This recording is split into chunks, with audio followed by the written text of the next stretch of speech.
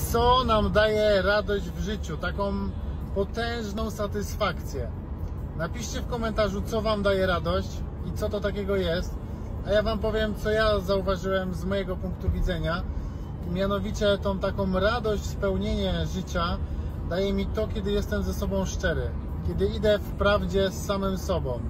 No bo możemy robić dużo rzeczy, które wewnętrznie czujemy nie są dla nas, a później być wkurzonym na siebie, że się to robi, ale można też iść drogą taką zgodną z naszym sercem, naszym e, najlepszym dobrem i postępować tak wobec drugiego człowieka, wobec bliskich, znajomych.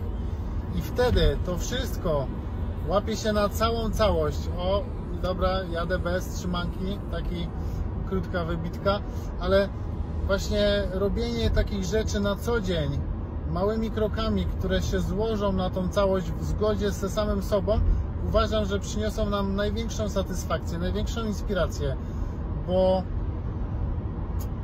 no dlaczego tak jest? Nie wiem, no tak odkryłem, no co ja wam powiem, no tak to po prostu widzę. Ale jeżeli widzicie to inaczej, to napiszcie w komentarzu, yy, jak według was, co, co to takiego jest, co, co spełnia te wewnętrzne szczęście i harmonię. No i co, trzymajcie się ciepło i miejcie wspaniały dzień. Cześć!